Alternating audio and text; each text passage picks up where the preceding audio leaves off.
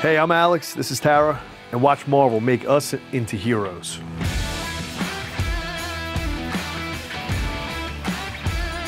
I'm Alex Van Brooklyn, and I'm a retired United States Marine. I'm a active real estate investor right now, and this is my lazy baby Tara, my service dog that I've been blessed with through America's VetDogs.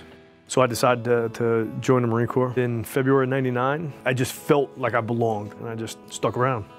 So 2014 is when I, I guess I first had the realization kind of forced at me from Big Marine Corps saying, hey, uh, we think you may have some issues uh, with some of your past events. So I spent the, the bulk of 2015 in every kind of different therapy you could think of. And part of that was at Walter Reed, they had a service dog program. I went up to Long Island in, let's say August of 2016, trained with her for two weeks and uh, yeah, now she's here with me every day. So some of the tasks that she's trained with and that she's helped me out with is nightmare interruption, She's actually trained to come over, have a lead that's on my, my bed sheet, and if I'm stirring at nighttime and I'm, I'm displaying visual signs of, of having a nightmare, she'll come over and actually pull my bed sheet off. She has given me the ability for me to be who I want and need to be. She has allowed me to get back out into society.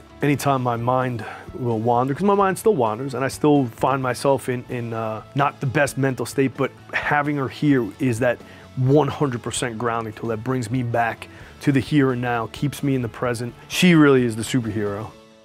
I remember the old Hulk movies with Lou Ferrigno. That I would say is honestly probably one of my first introductions to Marvel. It was just so cool. You know, bodybuilder go out there and all of a sudden he turns into this huge green monster, just absolutely uncontrolled. I just thought that was amazing. Not being able to control that monster when it comes out.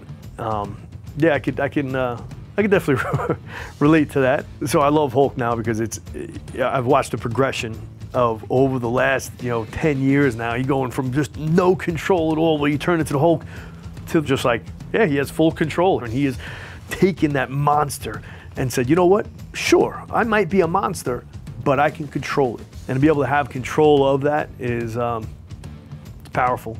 The superhero that I would love to be if I could be a superhero is not going to be running around in a cape with armor and a, and a sword. Maybe a small, maybe a small KA-BAR, but um, there are heroes that walk amongst us every day.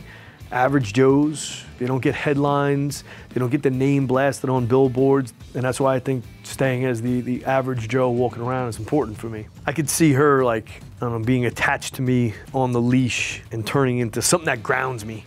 If I could channel her energy through me to help other folks to be like, stop thinking it's negative crap and you know, replace it with this and have them change themselves. Because for every one person again especially combat veterans they have a gift to give back to society. What i would love to be able to do is, is help folks realize what gift that they have. Super cool. Yeah i love the eyes. That is great. Look at tara. Look at you. Well i wish i was in that good of shape. I, I didn't want to be a superhero wearing a cape. I wanted a superhero that was that was just just me. I, I, think you really captured the hidden beast inside as well. Like literally just the, the way that the artist captured the the eyes and the, the anger in the eyes and you could see Tara just kind of sucking that right out of me. I could see myself in my other hand and my right hand in the picture, be able to reach out to somebody else and pull that negativity through me and just helping other people the way that she's helped me. Yeah, I, I think they really, they really captured that. So I think that's awesome.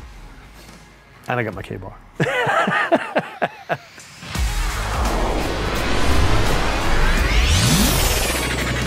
Thank you, Marvel, for making us heroes.